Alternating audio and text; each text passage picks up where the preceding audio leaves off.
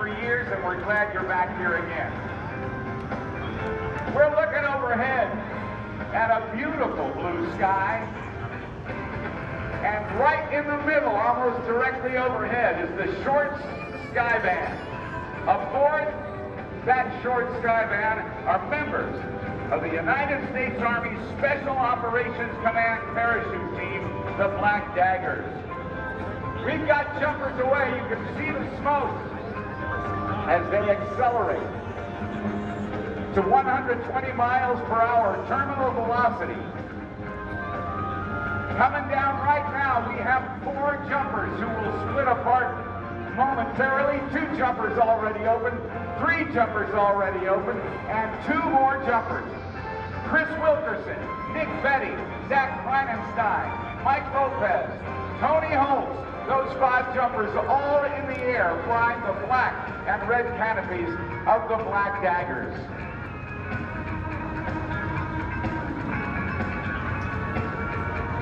This is a traditional air show opening.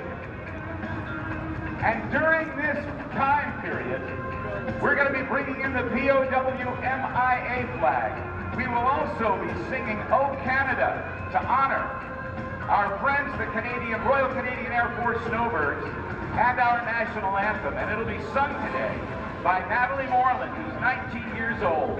She's daughter to Senior Chief Pasquale Moreland, who is currently stationed here at, down at NAS Pensacola. She's been singing the national anthem at the air show for six years, and the beach blast for five years. And she's almost about ready to graduate from college. Pretty cool stuff. The POWMIA flag that is coming in, of course, is to remember those who that remained behind, that were captured as prisoners of war, or were listed as missing in action. To each of them, we owe an unending debt of gratitude for the sacrifice they made, the pain they endured, and the hardships they suffered to ensure that the flame of freedom will never be extinguished. On September 21st, just two days ago, the National Prisoner of War Day was celebrated and recognized. And the flag you will see in the sky, you can see it right now, is a symbol of those brave Americans that were held captive or listed as missing in action. And as that flag comes down,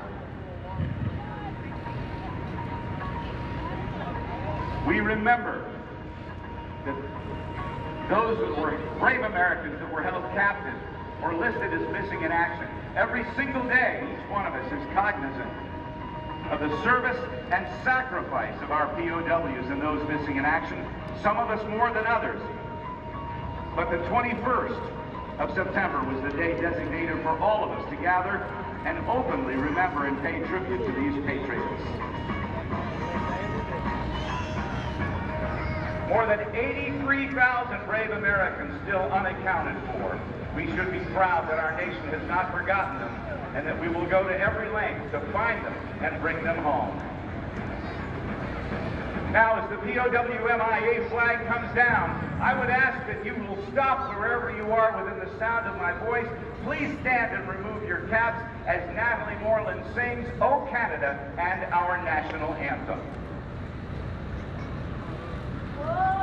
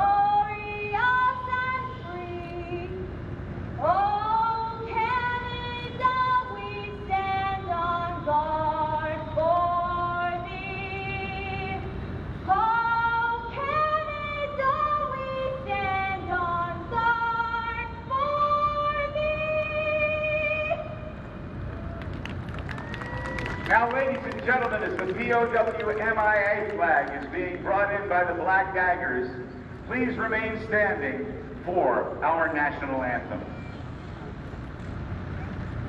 Oh,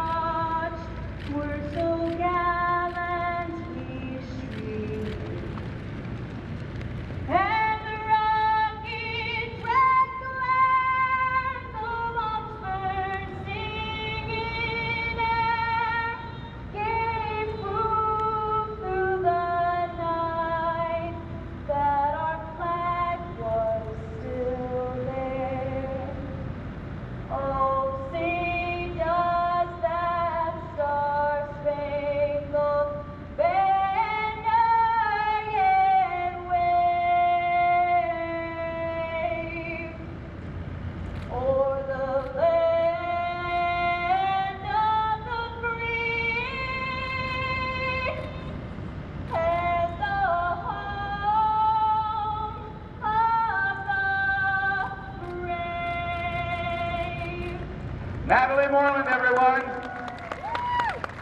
And as the American flag comes down, it was on September 12th of 1814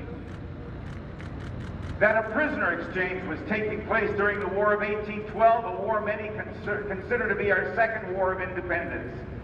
And an attorney from Baltimore, Maryland, was on a British ship arranging for that prisoner exchange, and he watched the 24-hour shelling of Fort McHenry when some 1,500 bombs and rockets and mortars were fired at Fort McHenry. Yet the next morning, a 40 by 60 foot flag flew over the fort, indicating they had survived the attack. And it inspired that attorney, who was also an amateur poet, to write the words that became our national anthem.